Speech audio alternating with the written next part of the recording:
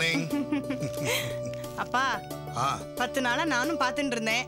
நீங்க ஏதோ மனசு சரியில்லாத மாதிரி ஏதோ குழப்பத்துல இருந்த மாதிரி முகம் டல்லாவே இருந்தது. இப்பதான் பழைய மாதிரி கலகலான்னு இருக்கேள். உண்மைதான் கோத. ஒரு வயசுக்கு மேல நாம நமக்காக வாழ்றதில்ல. மற்றவளுக்காக வாழ வேண்டியதா இருக்கு. அதனால அவ பார்க்குற பார்வைக்கும் அவ கேட்குற கேள்விக்கும் நாம பதில் சொல்ல வேண்டிய நிலைமைக்கு ஆளாயிடுறோம். அதனால நம்ம முகம் மாறுறது. ஆபீஸ்ல ஏதானும் பிரச்சனையாப்பா? ஆஹா அதெல்லாம் ஒன்றும் இல்லைம்மா. பெருமாள் அனுகிரகத்துல எல்லா ப்ராப்ளமும் சால்வ் ஆயிடுது ஆமா என்னப்பா? ஆமே வெறிச்சோன் கிடக்கு. உப்ளி மாமா எங்க? அம்மா எங்க காணோம்? உப்புளி ஏதோ அவசர வேலையா ஊருக்கு போயிருக்கார். அதனால காய்கறி வாங்க அம்மா கடைக்கு போயிருக்கா. ஓ தேவையில்லப்பா. அம்மாக்கு வர வர தைரியம் ரொம்ப ஜாஸ்தி எடுத்து போல் இருக்கு. நானும் ஒரு வாரமா பார்த்துட்டு இருக்கேன் தானே தனியா கடைக்கெல்லாம் போறா? காய்கறி எல்லாம் தினம் வாங்கிட்டு வரா?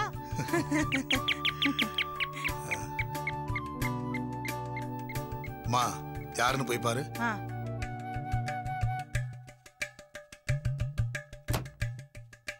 ஹலோ ராமன் வாங்க. வாங்க.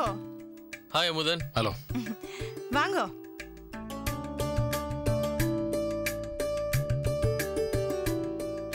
Hello uncle how are you நான் நன்னா இருக்கேன் ஜானகி. நீ எப்படி இருக்க? நானும் நல்லா இருக்கேன். உட்கார் ஜானகி.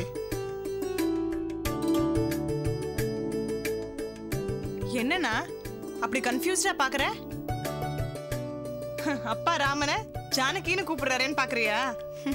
ஆமாண்ணா. இவ ஆத்துல இவ தாத்தா பாட்டி இவரை ஜானகின்னு கூப்பிடுவா. சித்தப்பா ஜானு ஜானுன்னு கூப்பிடுவார். நாமெல்லாம் இவரை ராமன்னு கூப்பிடுறோம். ஆக மொத்தத்துல இவர் முழு பெயர் ஜானகி ராமன் என்ற ஆர்ஜே ராமன்.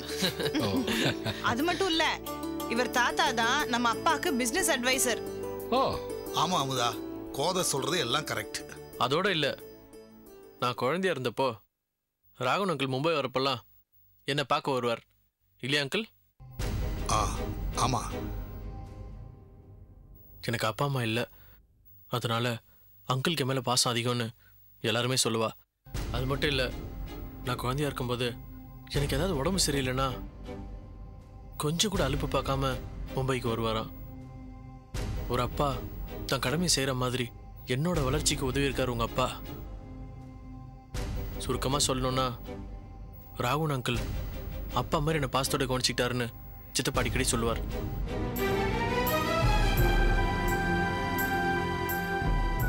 இப்போ சொல்லுங்க அமுதன். உங்க அப்பாவும் எனக்கு அப்பா மாதிரி தானே? நிச்சயமா. அதனால தான் நான் கோதி சிஸ்டர்னு கூப்பிட்றேன். உங்களை விட நான் பிரதர்னு கூப்பிட்றேன். எனக்கு ஆச்சரியப்படியே இல்லை. என்ன?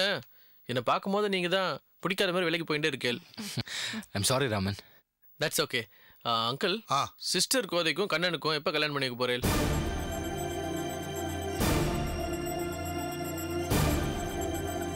உங்ககிட்ட கேட்கறத விட இது கரெக்டான ஆள் ஆண்டி. ஆண்டி கிட்ட கேட்டா கரெக்டா சொல்லிடுவா. Aunty aunty. உங்க ஆண்டி இங்க இல்ல. ஐயோ நான் ஆண்டி தானே பார்க்கணும்னு வந்தேன்? எங்க அம்மா கரிகாய் வாங்குறதுக்காக கடைக்கு போயிருக்கா. என்னது? கடைக்கு தனியா போயிருக்காளா? ஆத்துல இவ்வளவு பேர் இருக்கேள்? அம்மாவை கடைக்கு தனியா அனுப்புறது? என்ன அங்கிள் இப்படி பண்ணிட்டேள்? இருங்க நான் போய் அம்மா அழைச்சிட்டு வரேன். இருப்பா. ஜானகி. என்னம்மா இது? வா.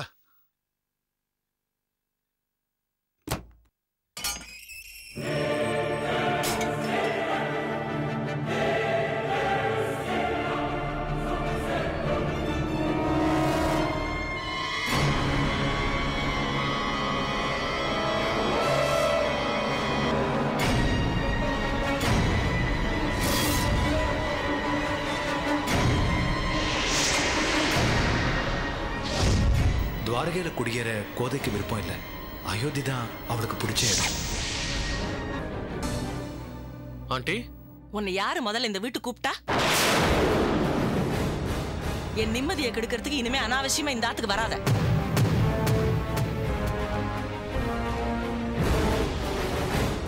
புரியுறதா? போ. இன்னும் என்ன என்ன பார்த்துட்டு இருக்க? போ இங்க இருந்து போடா. நான் போன்னு சொல்லி என்ன நின்று போடா. போ இங்க இருந்து.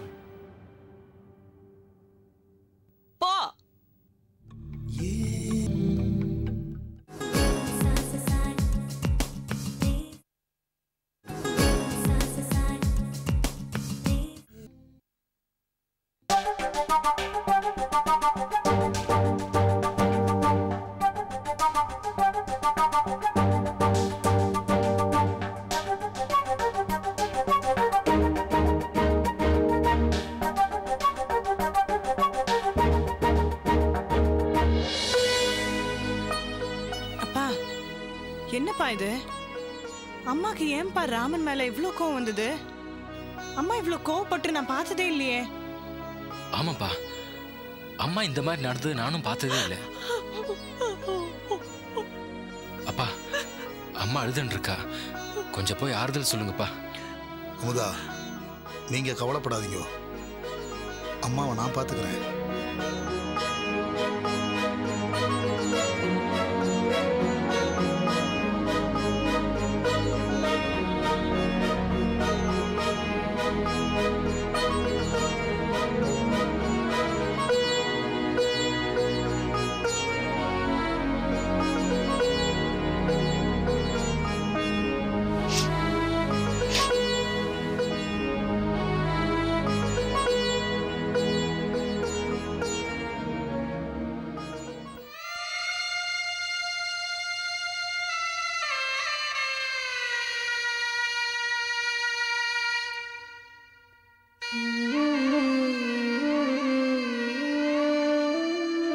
ஜானு? ஏய் ஜானு. ஆ சொல்லுங்க சித்தப்பா. அம்மா உங்க அம்மா ரங்கத்தை போய் பார்க்க போறேன்னு சொன்னியே போய் பார்த்துட்டு வந்தியா? அங்க என்ன நடந்தது? எல்லாத்தையும் விவரமா சொல்லு. சொல்ற அளவுக்கு ஒன்றும் நடக்கல சித்தப்பா. என்னடா? சொல்ற அளவுக்கு ஒண்ணும் நடக்கலையா? உங்க அம்மா ரங்கத்தை போய் பார்த்தியோனோ? ம் பார்த்தேன். அப்புறம் சொல்றதுக்கு ஒண்ணும் இல்லைன்னா ஏண்டா? ஒருவேளை எல்லா உண்மையும் ஒண்ணு விடாம ரங்கத்துக்கிட்ட உளறிட்டியா? சித்தப்பா நீங்க உளராதீங்க நான் யார்கிட்டயும் எந்த உண்மையும் சொல்லலை. இல்லடா அதுக்காக கேட்கல சாதாரணமா உங்க அம்மாவை போய் பார்த்துட்டு வந்தேன்னா ஒரே குஷியா இருப்ப? ஆனா இன்னைக்கு ஒரே டல்லா இருக்கியே என்ன விஷயம்? சித்தப்பா நம்ம ஆத்துல அம்மாவோட ஃபோட்டோ ஏதோ ஒன்று இருக்கா? திடீர்னு இப்ப அம்மா போட்டோவை எதுக்காக கேட்கற அப்பா ஃபோட்டோவோட சேர்த்து வச்சு பார்க்கணும் தான். ஏய் ஜானு என்ன பைத்தியக்காரத்தனமா பேசுற? உங்க அப்பா இறந்து போயிட்டார். அவர் போட்டோவை பார்த்து நீ ஆறுதல் படுற. இது நியாயம். ஆனா உங்க அம்மா உயிரோட தானே இருக்கா? அவளதான் பார்த்துட்டே இருக்கியே. நாங்க எவ்வளவுதான் தடுத்தாலும் நீ அப்பப்போ உங்க அம்மாவை போய் பார்த்துன்னு தானே வர? இனிமே அதெல்லாம் நடக்காது சித்தப்பா. என்னது? இனிமே அது நடக்காதா? டேய் என்னடா சொல்ற? ஏன்? சித்தப்பா என் அம்மா இல்ல இல்ல ஆண்டி என்ன? சரி சரி ஆண்டி. ஆண்டி என்ன சொன்னா? இனிமே என்ன வாத்துக்கு வர வேணாம்னு சொல்லிட்டா சித்தப்பா. எது? அவ உன்னை ஆத்துக்கே வரக்கூடாதுன்னு சொல்லிட்டாளா? ரங்கம்மா அப்படி சொன்னா? அம்மா. என்னடா அது நீ யாருன்னே அவளுக்கு தெரியாது. அவளை பொறுத்த வரைக்கும் நீ ஒரு மூணாவது மனுஷன். அப்படி இருக்கும்போது அவ ஏன் உன்னை ஆத்துக்கு வர வேண்டாம்னு சொல்லணும்? தெரியல சித்தப்பா. என்ன? இனிமே வாத்துக்கு வர வேண்டாம் என் கண் முன்னாடி நிக்க வேண்டாம்னு மூஞ்சில் அடிச்ச மாதிரி சொல்லிட்டா. இல்லையே. ரங்க அப்படியெல்லாம் எடுத்தெறிஞ்சு பேசுறவ இல்லையே. அவளுக்கு அதிர்ந்து பேசவே தெரியாதேடா. அப்படிப்பட்டவ உன்னை ஆத்துக்கு வர வேண்டாம்னு சொன்னா அதுக்கு பின்னாடி ஏதோ பலமான காரணம் இருக்கத்தான் செய்யணும். என்ன காரணம்? பெத்த தாய அம்மான்னு என்னால கூப்பிட முடியல. சரி அது போகட்டும். அவ முகத்தையாவது பார்த்து என் துக்கத்தை நான் மறந்துருந்தேன். இப்ப அதுக்கும் வழி இல்லாம என் அம்மாவே என்ன வர வேண்டாம்னு சொல்லிட்டாளு. சித்தப்பா இப்படிலாம் நடக்கிறதுக்கு நான் என்ன தப்பு பண்ண சித்தப்பா? யானும் நீயே என்ன தவறு பண்ணேன்னு கேக்குற தெரியாம பண்றது தான்டா தவறு. நீ எந்த தப்பும் பண்ணலடா. நாங்க பண்ண தப்புக்கு தான் நாங்க கஷ்டப்பட்டு இருக்கோம். சித்தப்பா அம்மாவை பத்தின உண்மையெல்லாம் நீங்க எனக்கு சொல்லாமலே இருந்திருக்கலாம். அதெல்லாம் நான் கேட்டதுனால தான் இந்த வேதனை துக்கம் துயரம் எல்லாமே ஜானு நடந்து போற விஷயங்களை நினைச்சு துக்கப்படுறதுல அர்த்தமே இல்லடா. ஆமா ஏன் ரங்க உன்னை ஆத்துக்கு வர வேண்டாம்னு சொன்னான் அதுக்கு என்ன காரணம்? அதுதான் எனக்கு புரிய மாட்டேங்கிறது. நீ யாருங்கிற உண்மை ரங்கத்துக்கு தெரியாது. அவளை பொறுத்த வரைக்கும் நீ ஒரு மூணாவது மனுஷன். அப்படி இருக்கும்போது உன்னை ஆத்துக்கு வர வேண்டாம்னு சொன்னா அதுக்கு ரெண்டு காரணங்கள் தான் இருக்க முடியும். ஜானு ஒன்னும் ரங்கத்துக்கு பிடிக்காத மகா பயங்கரமான தப்பான காரியம் ஒன்ன நீ செஞ்சிருக்கணும். இல்ல சித்தப்பா சத்தியமா நான் அந்த மாதிரிலாம் எதுவுமே செய்யல. இருபத்தஞ்சு வருஷமா நான் பார்க்க முடியாது என்னோட அம்மாவோட முகத்தை பார்க்கணும்னு ஆசைப்பட்டேன். அது தப்பா? என்னை பொறுத்த வரைக்கும் தப்பே இல்லை சித்தப்பா. இல்லைன்னா நீ அவாத்துக்கு வரதுனால உனக்கோ அவளுக்கோ இல்ல அவ குடும்பத்துக்கோ ஏதோ ஆபத்து வரும்னு அவ பயந்துருக்கணும். ஆபத்தா? என்ன ஆபத்து? அது என்ன ஆபத்துன்னு தெரிஞ்சாதான் சொல்யூஷன் ஈஸியா கிடைச்சிடுமே. ஆனா ஒண்ணு மாத்திரம் நிச்சயம்டா. நாங்க உனக்கு பண்ணின பாவத்துக்கு உன்னை மறுபடியும் உங்க அம்மாவோட சேர்த்து வைக்கிறதா நாங்க பண்ண போற பிராயச்சித்தம். அப்போ? அது வரைக்கும் அது வரைக்கும் நான் காத்துட்டே இருக்கணுமா? வேற வழியே இல்லடா ஜானு. சித்தப்பா. உன் வேதனை எனக்கு புரியுறதுடா. என்னுடைய வார்த்தைகள் அதுக்கு மருந்து ஆகாது. ஆனா உனக்கு ஏற்பட்ட இதே அனுபவம் பகவான் கிருஷ்ண பரமாத்மாவுக்கு ஏற்பட்டிருக்கு. அதை நினைச்சு நீ ஆறுதல் அடைய வேண்டியதுதான். என்ன சொல்றேன் ஆமா கிருஷ்ண பரமாத்மா பிறந்த உடனே அம்மா விட்டு பிரிஞ்சு கோகுலத்துல தானடா வளர்ந்தார். ரொம்ப நாள் கழிச்சு தானே அம்மாவோட சேர்ந்து வாழக்கூடிய சந்தர்ப்பம் அவருக்கு கிடைச்சது. அதே மாதிரி நீ உங்க அம்மாவோட சேர்ந்து வாழற வரைக்கும் நீ கொஞ்சம் பொறுமையா தான் இருக்கணும். சித்தப்பா ப்ளீஸ் நானே ஏற்கனவே ரொம்ப டயர்டாக இருக்கேன். மனசு உடைஞ்சு போயிருக்கேன். சும்மா எதையானோ சொல்லி டிஸ்டர்ப் பண்ணாதீங்க ப்ளீஸ் ஆமாம் இப்போ நான் சொல்கிறதெல்லாம் உனக்கு டிஸ்டர்பன்ஸாக தான் தெரியும். போக போக தான் அந்த அனுபவம் என்னங்கிறது புரியும். சரி நீ படத்தை வச்சுட்டு நல்ல விஷயங்கள் நினைச்சுட்டு கண்ணை மூடின்னு தூங்கு. தூக்கம் தானாகவே வரும். படுத்துக்கோ.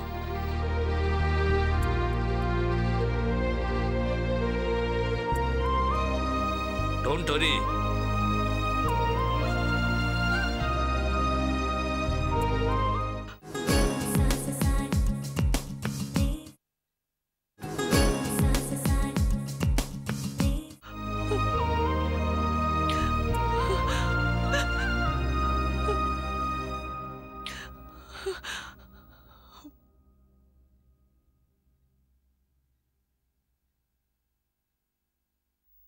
ரங்கம்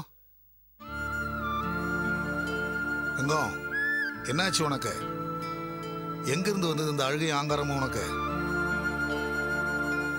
ராமன் தான் நீ சொன்ன வார்த்தைக்கு மறு வார்த்தை எதுவும் சொல்லாம போயிட்டானே. அப்புறம் எதுக்கு இந்த அழுகையும் ஆங்காரமும்? நமக்கு கல்யாணம் ஆகி எத்தனையோ வருஷங்கள் ஆயிடுத்து. இத்தனை வருஷமா எனக்கு தெரிஞ்ச ரங்கம் பயந்தவ சங்கோஜி எதிர்த்து பேச தெரியாதவ.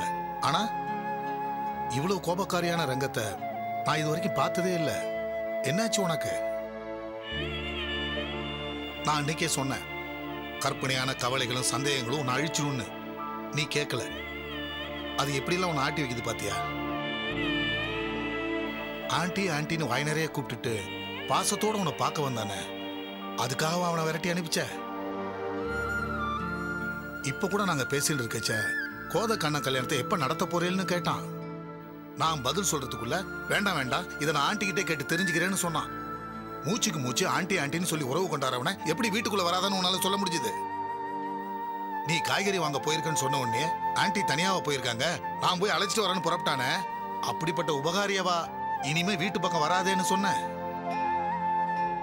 கோதையும் ராமனும் பிரதர் சிஸ்டர்ஸ் மாதிரி தான் பழகின்னு இருக்கா? நீ அனாவசியமா அவளை சந்தேகப்படாதன்னு உனக்கு நான் எவ்வளவு தடவை எடுத்து சொன்னேன். ஆனா நீ கேட்கல அனாவசியமாக அவளை சந்தேகப்பட்டு குடும்பத்தில் ஒருத்தனா நம்ம குழந்தை மாதிரி பழகிட்டு இருந்தவனை கழுத்தை பிடிச்சி வெளியில் தள்ளாத குறையா அனுப்பிச்சுட்டியே. அவன் எவ்வளோ வருத்தப்படுறானோ வேதனைப்படுறானோ. ஆனால் நீ குழந்தைய அடிச்சுட்டு தாயார் அழுகிற மாதிரி அவன் மனசை புண்படுத்தி விட்டு நீ இங்கே உட்காந்து அழுதுன்னு இருக்க. உன் தப்பை நீ உணரணுங்கிறதுக்காக தான் நான் இவ்வளவும் சொன்ன ரங்கம் இப்போ நான் ஒரு உண்மையை சொல்கிறேன் கேட்டுக்கோ.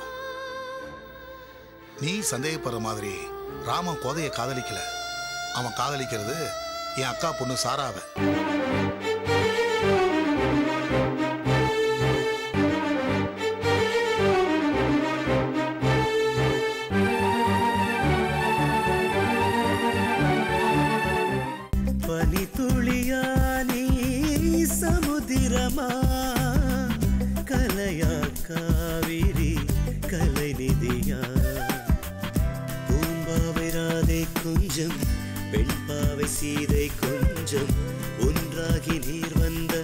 mama